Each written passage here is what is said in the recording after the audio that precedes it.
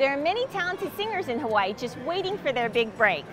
Local sports reporter Kanoa Leahey and three of his friends are hoping to make dreams come true with their Sing or Sink online contest, which just launched last month.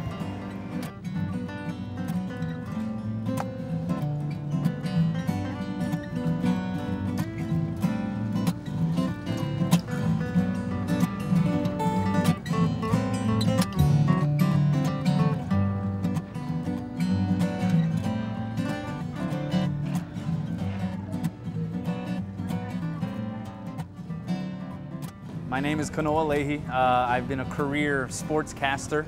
Uh, started doing play-by-play announcing actually when I was a senior in high school, when I was still 17 years old. So uh, if I do the math quickly, I'm 35 now. I've been doing it for about 18 years.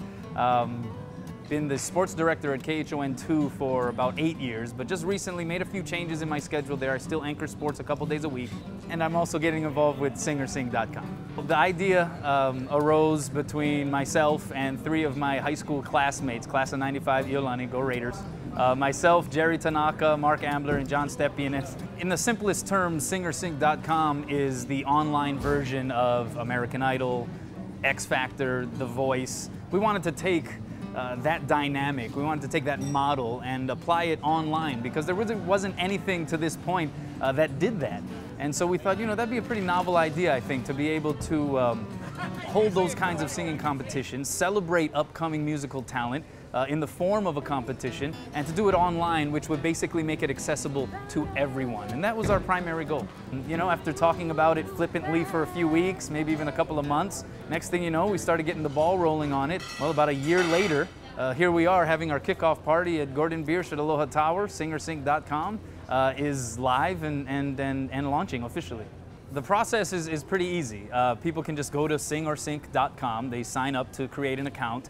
Uh, and then they're free to upload video through YouTube, Vimeo, um, and basically they can enter contests on the site with their clips, or they can just post clips in general uh, to the general archive and library on the site. But the contests are really the, the center focal point of the site, and they're going to be quarterly contests, and they're going to have layers to them and rounds to them. So uh, the opening round of each quarterly contest is open to everybody. Anybody in any number can post a video, can enter the contest.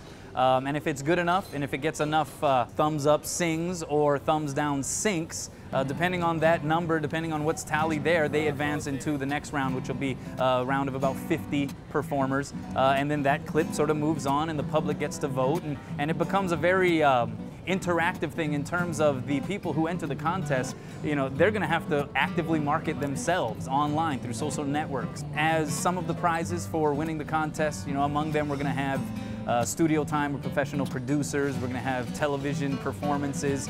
Uh, we actually have a deal with Wahoo's uh, that will actually pay the winners uh, to perform at Wahoo. So an actual paying gig for who comes out uh, on top of the competition. And we're going to have different categories, obviously, and uh, male and female, and, and, down the road, even group performances. So we feel like from point A, we can take this anywhere we really want it to go. For the time being, it's uh, solo singers and free to perform whatever they want to. Uh, but we want this to be a very interactive experience. We want to get the feedback from the users of the site and from the people that visit the site and in turn uh, provide to them a contest that, that they think they can get excited about and that they think they can take part in because there are already all kinds of, of singing competitions, musical competitions all on TV, even on radio.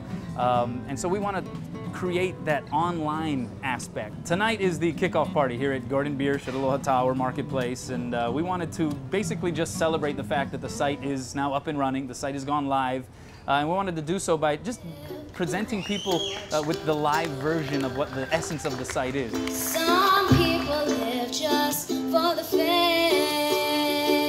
Of course, it's mainly about the competition uh, it's mainly about the up-and-coming artists. So what we did was we sent out special invitations to some of the top up-and-coming artists that we already know of.